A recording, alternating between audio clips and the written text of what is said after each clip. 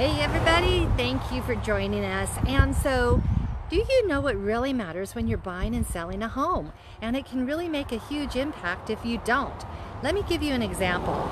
This is a property behind me that we have some clients that are purchasing and one of the things that happened is is that they got all freaked out because this property was being sold in a trust as is. Well, the big question is, is that what is as is? Well, pretty much it can mean as is. So going in with eyes open are really something that is of key importance. Now there are times where you can actually negotiate some repairs and there's times that you can actually negotiate some of the other incidental items. However, that said, as is truly does mean as is. So when you're buying a property, understand that as you write that contract, the seller is under absolutely no obligation to make sure that you end up getting any repairs done to the property. So I'm going to sort of zoom in so you can sort of see what we're talking about. But on this particular property, if you can notice, there is peeling paint, there is issues with the electrical, there's some issues with the roof, there's a lot of issues with the windows and things like that. And so because it's in a trust, the owners of the property said, you know what, we're out of state. We're doing nothing. And they priced it aggressively for that.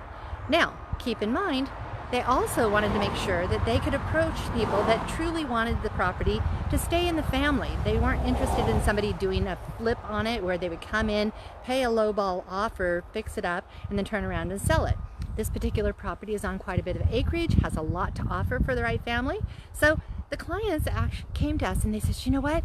We want this property. We, it fits all of our needs. We've always dreamed of having acreage. We can't wait to have chickens and things along that line. But you know what?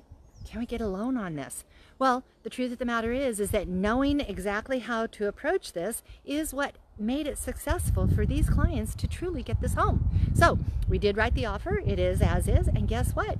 By working with the lender, remember we talked about teamwork yesterday? Well, this is having a good team. We worked with the lender, we worked with the appraiser, we worked with the other agent on it.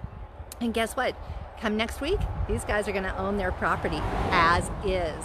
There are a few little things that are required for health and safety, such as smoke detectors and earthquake bracing, but in that in that situation, the sellers were willing to let the buyers go forward and do it. So understand that even if the seller's not willing, oftentimes we negotiate and let the buyers be able to handle certain things. Obviously, we're not going to go and spend thousands of dollars on a property until you actually own it. However, the little things that might get you into a property that a lot of people wouldn't even think to address can actually create it to where you are the winner. So that is the tip of the day. Yes, you can buy the property, know what there is important to know. And you know what? The paint wasn't an issue, the roof wasn't an issue, but that's because we knew exactly how to handle it.